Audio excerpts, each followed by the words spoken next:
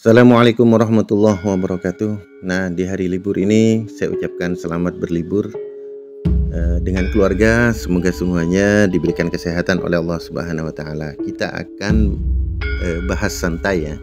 Dan juga kita sering tukar tukar ilmu. Nah, silakan dikomentari nanti. Kita akan membahas uh, keturunan daripada Sultan Demak, Raden Fatah.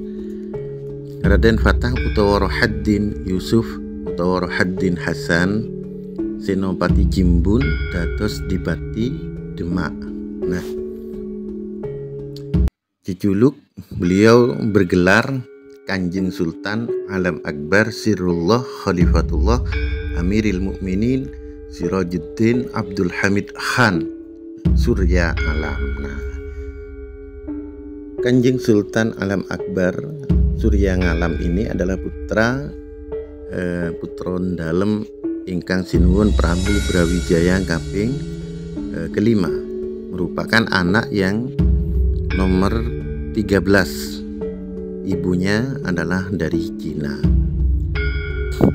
Nah Raden eh, Raden Fatah ini istrinya itu hanya satu permaisurinya ya. Allah alam ya di apa namanya mungkin selir ya. Eh, permaisurinya satu. Yaitu inggih putri pun Kanjeng Suhunan Ampel Surabaya Kang Asmo Ratu Mas Panggung. Istrinya Raden Fatah itu putri Sunan Ampel ini adalah Ratu Mas Panggung.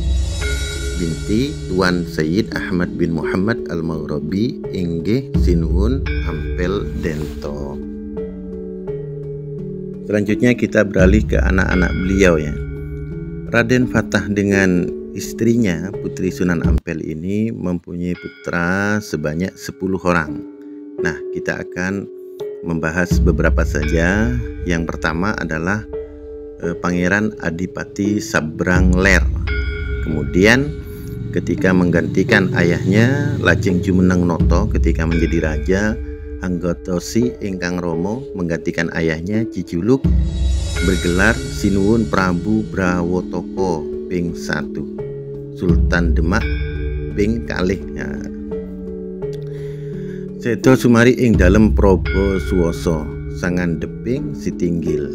Nah, Beliau berputra dua yaitu Kanjeng Pangeran Panggung Sumari ing Tegal Raden Ayu Pager Gunung Anak yang kedua dari Raden Fata adalah Raden Sasongko yang keparing asmo Pangeran Adipati Sabrang Kilen.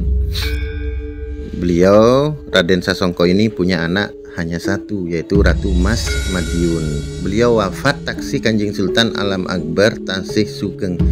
Eh, namun beliau uh, siapa namanya Raden Sasongko ini wafat uh, sebelum uh, ketika Raden Fata masih ada.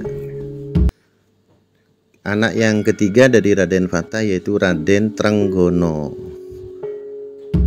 Suruti enggang roko lajeng asmo pangeran ketika ayahnya wafat. Eh, kemudian beliau bergelar Pangeran Adipati Anom.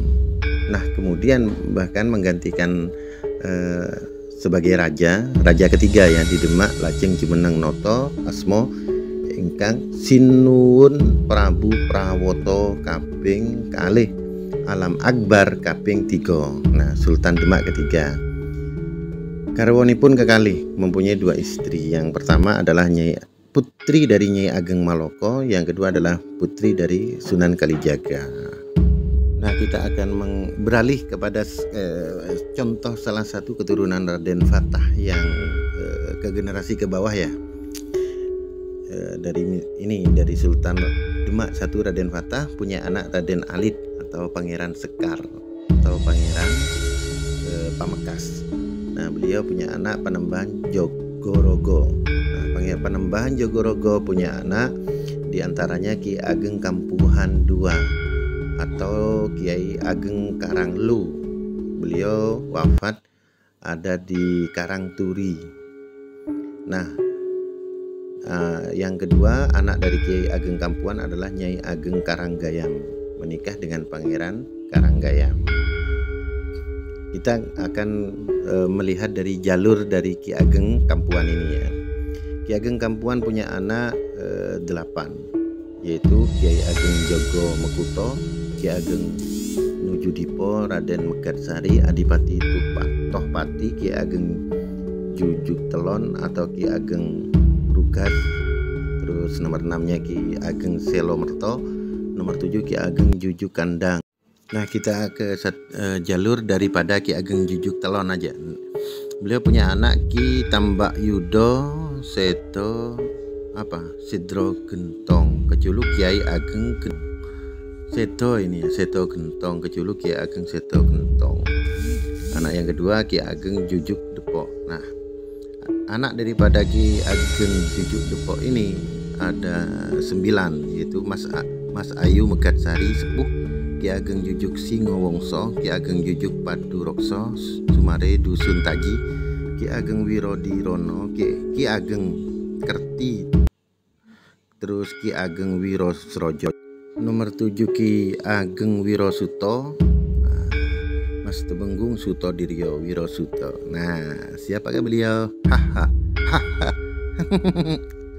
Nomor 9 adalah Nyai Ageng Jaya Wongso ing dusun Lar. Nah kita akan ke Ki Ageng Jujuk Singowongso ya. Bin Ki Ageng Jujuk Depok Tedak Sultan Demak tadi itu atau adik daripada Ki Wirosuto ya. Uh, Singowongso bin Ki Ageng Jujuk Depok itu punya anak uh, dua Ki Ki Kerti Banat Ki Bayut atau Ki Sutojoyo. Nah, Ki Bayut eh, atau Ki Sutojoyo ini pun punya anak 6 uh, yang anak pertama adalah uh, istri dari Pangeran Blitar, yang kedua adalah Nyai Suto Wijoyo, terus menjadi mantu dari pamannya menikah sepupuan, yaitu menikah dengan Kiai Suto Wijoyo. Suto Wijoyo ini kan apa namanya ayah dari Suto Wijoyo dan Nyai Suto Wijoyo ini saudara. Nah kita akan langsung bahas dari sini aja. Eh, dari pernikahan beliau dikaruniai tiga anak Kiai Ngabehi Jogo Suworo atau Tumenggung Wirojoyo, yang kedua Kiai Sumojoyo, yang ketiga adalah Mas Ayu Wirosobo atau Mas Tumenggung Tukbahu. Beliau punya anak. Kiai Ngabehi Joko Suworo ini punya anak eh, enam yaitu Mas Ajeng Mojo Songo, Raden yang kedua Raden Tumenggung Apanji Cokronegoro, uh, ibunya ini dari Bagelan. Jadi istrinya Kiai Ngabe juga Suara ini banyak ya. Yang ketiga adalah Mas Roro Andawiyah. Uh, terus yang keempat Raden Tumenggung Wiryo Diryo yang kelima Raden Tumenggung Apanji Suro di di Logo yang keenam Raden Ngabehi Suro di Puro yang ketujuh Raden Ayu Suro di Ningrat yang kedelapan Raden Tumenggung Prawiro di Puro yang keenam adalah Raden Panji Joyolang Tingkir atau ibu dari ibunya dari Tingkir Joyo Langgar ya